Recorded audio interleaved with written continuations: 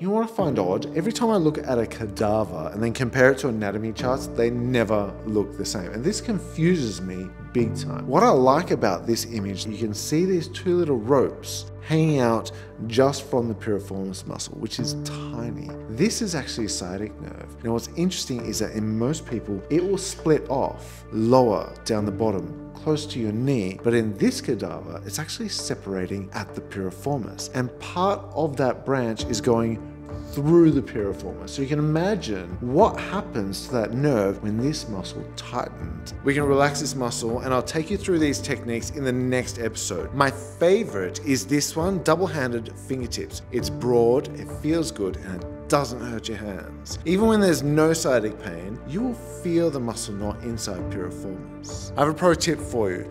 Use angles to change the direction in which you massage in. It'll help you feel more of that knot. We want to create a mental image in our brain of what piriformis looks like because we can't see it, yeah?